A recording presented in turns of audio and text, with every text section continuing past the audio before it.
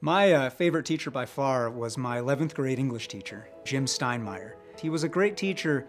He taught me a lot about writing, but what he taught me more about was just presence and the ability to be both in command of yourself, uh, but also know when and how to use lightness and a, a gentle touch to draw things out that the heavier hand might not do. And to be a teacher gives you an excuse every single day to be a practitioner of how to be a human being. See that possibility in somebody and know just how to activate it. He had so much to do with my ability just to think clearly. Actually, great leadership is about how well you listen. So, learning how to listen, that kind of great teaching and great leadership.